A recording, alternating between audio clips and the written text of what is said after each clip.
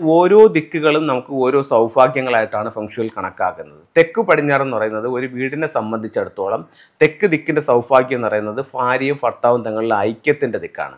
അതേ സ്ഥലം അതേ ദിക്ക് തന്നെയാണ് വിവാഹത്തിന്റെയും ദിക്ക്. അതായത് ഒരു കുട്ടിയുടെ വിവാഹം നടക്കാൻ ആയിട്ട് തരുന്ന സൗഭാഗ്യം തെക്ക് പടിഞ്ഞാറിന്റെ സൗഭാഗ്യമാണ്. അതേ കണക്ക് തന്നെ ഭാര്യയും ഭർത്താവും നല്ല സന്തോഷത്തോടെയും ഐക്യത്തോടെയും പോവാനും തെക്ക് പടിഞ്ഞാറ് ഏറ്റവും ഉത്തമമായിട്ടിരിക്കേണ്ടത് വളരെ ആവശ്യകരമാണെന്ന് ഫംഗ്ഷുവൽ പറയുന്നു. അപ്പോൾ ഒരു വീട്ടിലെ ഗൃഹനാഥ ആരോഗ്യത്തോടെയും സന്തോഷത്തോടെ ഇരിക്കാനും ആ വീടിന്റെ തെക്ക് പടിഞ്ഞാറ് ഭാഗം വളരെ വൃത്തിയായും ശുദ്ധിയായും വാസ്തുപ്രകാരം കൃത്യമായി ഇരിക്കേണ്ടത് വളരെ ആവശ്യമാണ്. അപ്പോൾ നമുക്ക് എന്തൊക്കെ കാര്യങ്ങളാണ് തെക്ക് പടിഞ്ഞാറ് ഉണ്ടാവുന്നത്? ഒന്ന് വീട്ടിലെ ഗൃഹനാഥയുടെ ദിക്ക് തെക്ക് പടിഞ്ഞാറാണ്. രണ്ട് വിവാഹത്തിന്റെ ദിക്ക് തെക്ക് പടിഞ്ഞാറാണ്. മൂന്ന് ഭാര്യയും ഭർത്താവും ഐക്യത്തിന്റെയും സ്നേഹത്തിന്റെയും ദിക്ക് തെക്ക് പടിഞ്ഞാറാണ്.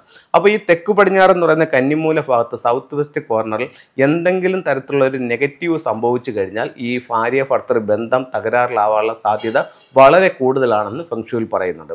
അപ്പോൾ അത് എന്തൊക്കെ ഏത് രീതിയിൽ നമുക്ക് അവിടെ ആ ദിക്ക് മലിനപ്പെടാം എന്നുള്ളത് നോക്കാം. അപ്പോൾ ഞാൻ ഈ പറയുന്ന കാര്യങ്ങളെല്ലാം ഭാരതത്തിന്റെ വാസ്തു സമ്പ്രദായമായിട്ടുള്ള കാര്യങ്ങളും അതുപോലെ തന്നെ ചൈനീസ് വാസ്തുകലയായ ഫംഗ്ഷു പ്രകാരമുള്ള കാര്യങ്ങളും കൂടെയാണ് നിങ്ങൾക്ക് ഷെയർ ചെയ്യുന്നത്. ഒന്ന് നമ്മുടെ വീടിനെ സംബന്ധിച്ചിടത്തോളം തെക്ക് പടിഞ്ഞാറ് ഭാഗത്ത് ഒരു വലിയ കുഴിയാണ്. വസ്തുവിന്റെ തെക്ക് പടിഞ്ഞാറ് ഭാഗത്ത് ഒരു വലിയ കുഴിയാണ്. അല്ലെന്നുണ്ടെങ്കിൽ തെക്ക് പടിഞ്ഞാറ് ഭാഗത്ത് നമുക്കൊരു സെപ്റ്റി ടാങ്കാണ് അല്ലെങ്കിൽ ഒരു വേസ്റ്റ് വാട്ടറിന്റെ കുഴിയാണ്. അല്ലെങ്കിൽ കിണറാണെന്നുണ്ടെങ്കിൽ ആ തെക്ക് പടിഞ്ഞാറിന്റെ ഒരു എനർജി സ്വാഭാവികമായും വീക്കാവും അപ്പോൾ ഫെങ്ഷുവിൽ പറയുന്നതെന്ന് പറഞ്ഞു കഴിഞ്ഞാൽ തെക്ക് പടിഞ്ഞാറ് ഭാഗത്ത് എർത്ത് എനർജിയാണ് അത് എപ്പോഴും നല്ല സ്ട്രോങ് ആയിട്ട് നിൽക്കണം. അപ്പോൾ എന്ത് വേണം? ആ ഭാഗം നഷ്ടപ്പെട്ടു പോകാനോ അല്ലെങ്കിൽ ആ ഭാഗം വീക്കാകാനോ പാടില്ല. അതെപ്പോഴും ഉയ- ഉയർന്ന് നല്ല ഇതായിട്ട് നിൽക്കണമെന്നുള്ളതാണ് തെക്ക് പടിഞ്ഞാറ് അർത്ഥമാക്കുന്നത്.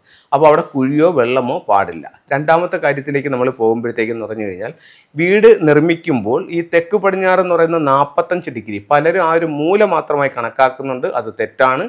വീടിനെ എട്ടായിട്ട് തിരിക്കുമ്പോൾ എട്ടിലൊരു ഭാഗം തെക്ക് പടിഞ്ഞാറാണ് ആ ഒരു തിരിക്കുന്നതെന്ന് പറഞ്ഞു കഴിഞ്ഞാൽ ഓരോ വീടിന്റെയും ഡിഗ്രിയെ ബേസ് ചെയ്തിട്ടാണ് എട്ടായിട്ട് തിരിക്കുന്നത്. അപ്പോൾ ആ തിരിച്ച എട്ട് എട്ടായിട്ട് തിരിച്ച നാൽപ്പത്തഞ്ച് ഡിഗ്രിക്കകത്ത് നമുക്ക് ഈ പറയപ്പെടുന്ന എന്തെങ്കിലും തരത്തിലുള്ള ടോയ്ലറ്റുകളോ അല്ലെങ്കിൽ സെപ്റ്റി ടാങ്കുകളോ അല്ലെങ്കിൽ വേസ്റ്റ് വാട്ടറിന്റെ കുഴിയോ അതല്ലെന്നുണ്ടെങ്കിൽ ആ ഭാഗത്ത് മിസ്സിങ് മിസ്സിങ് എന്ന് പറഞ്ഞു കഴിഞ്ഞാൽ അവിടെ കെട്ടി അടച്ചെടുക്കാതിരിക്കുക ചെയ്യുകയാണെന്നുണ്ടെങ്കിലോ അതല്ലെങ്കിൽ അവിടെ കിച്ചൺ വരികയാണെങ്കിലോ വീട്ടിൽ ഭാര്യ ഭർത്താവ് അഭിപ്രായ വ്യത്യാസങ്ങൾ കലഹങ്ങൾ ഡൈവേഴ്സ് പോലുള്ള കാര്യത്തിനുള്ള സാധ്യത വളരെ കൂടുതലാണെന്ന് ഫംഗ്ഷുവൽ പറയുന്നുണ്ട്. ഞാൻ ഈ അടുത്ത സമയത്ത് എറണാകുളത്തൊരു വീട് കൺസൾട്ട് ചെയ്തായിരുന്നു. അപ്പോൾ ആ വീടിന്റെ തെക്ക് പടിഞ്ഞാറ് ഭാഗം എന്ന് പറയുമ്പോഴത്തേക്ക് അവർക്കൊരു കാർ പോർച്ചാണ് അപ്പോൾ ആ കാർ പോർച്ച് അവിടെ മിസ്സിംഗ് ആണ്. ആ ഭാഗം എന്ന് പറയുന്നത് ഒരു പില്ലർ കൊണ്ട് കൊടുത്തിട്ട് അതിന്റെ തെക്കും പടിഞ്ഞാറും മിസ്സിംഗ് ആണ്. മാത്രവുമല്ല അവിടെ വണ്ടി കയറ്റി ഇടുകയും ചെയ്യുന്നുണ്ട്. അപ്പോൾ അവിടെ എന്താണ് സ്വാഭാവികമായിട്ട് സംഭവിക്കുക സംഭവിക്കുന്നത്? ഞാൻ ആ വീട്ടിൽ ചോദിച്ചപ്പോഴത്തേക്ക് പറഞ്ഞു കഴിഞ്ഞാൽ അവിടെ പിന്നെ അവിടുത്തെ ഗൃഹനാഥൻ മാത്രമേ ഉള്ളായിരുന്നു. അപ്പോഴത്തേക്ക് അദ്ദേഹത്തിന്റെ ഭാര്യയുമായിട്ട് വിവാഹം കഴിഞ്ഞ് മൂന്ന് മാസത്തിനകത്ത് വെച്ച് അവർ ബന്ധം വേർപെടുത്തി എന്നുള്ളതാണ് പറഞ്ഞത്. അപ്പോൾ ഞാൻ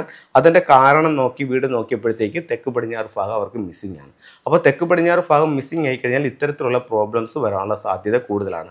അത് കഴിഞ്ഞതിന് ശേഷം അവർ അദ്ദേഹം പറഞ്ഞു അദ്ദേഹത്തിന്റെ ആ ഒരു തെക്ക് പടിഞ്ഞാറ് ഭാഗത്ത് നേരത്തെ ഒരു ടോയ്ലറ്റ് ഉണ്ടായിരുന്നു. അത് പുള്ളി അവിടെ നിന്ന് മാറ്റി എന്നും പറഞ്ഞു. അപ്പോൾ തെക്ക് പടിഞ്ഞാറ് ഭാഗത്ത് ഇത്തരത്തിൽ ബുദ്ധിമുട്ടുകൾ വന്നു കഴിഞ്ഞാൽ ഇത്തരത്തിലുള്ള സംഭവങ്ങൾ ഉള്ള സാധ്യത വളരെ കൂടുതലാണ്.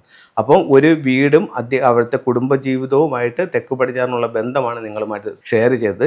ഇത്തരത്തിൽ എന്തെങ്കിലും തരത്തിലുള്ള ബുദ്ധിമുട്ടുകളുണ്ടെങ്കിൽ നിങ്ങൾ ഉറപ്പായിട്ടൊരു ഫംഗ്ഷൻ കൺസൾട്ടിനെ കാണിച്ചുകൊണ്ട് അവരുടെ നിർദ്ദേശപ്രകാരം വേണ്ട കാര്യങ്ങൾ കറക്റ്റ് ചെയ്യുകയാണെന്നുണ്ടെങ്കിൽ അതിൽ കാര്യമായ മാറ്റങ്ങൾ നമ്മുടെ ജീവിതത്തിൽ ഉണ്ടാക്കാൻ പറ്റുമെന്ന് ഫംഗ്ഷനിലൂടെ പറയുന്നു. അപ്പോൾ ചില ടൂളുകൾ അതിനെ പറ്റിയ ചില ടൂളുകൾ ഞാൻ പറയാം. ഒന്ന് തെക്ക് പടിഞ്ഞാറ് ഭാഗത്ത് ഇത്തരത്തിലുള്ള എന്തെങ്കിലും ബുദ്ധിമുട്ടുണ്ടെങ്കിൽ അവിടെ ഒരു ചോപ്പ് ലൈറ്റ് ഇടാം. രണ്ട് തെക്ക് പടിഞ്ഞാറ് ഭാഗത്ത് അവിടെ ഒരു മണ്ടേരിയൻ ടെക്കിന്റെ സ്റ്റാച്ചു വയ്ക്കാം തെക്ക് പടിഞ്ഞാറ് ഭാഗത്ത് ആ എർത്ത് എനർജി കൂട്ടത്തക്ക രീതിയിൽ ആ ഭാഗത്ത് ക്രിസ്റ്റൽസ് കൂട്ടിയിടുന്നതും നല്ലൊരു ഇതായിട്ട് ഫെങ്ഷുവിൽ കണക്കാക്കുന്നുണ്ട്.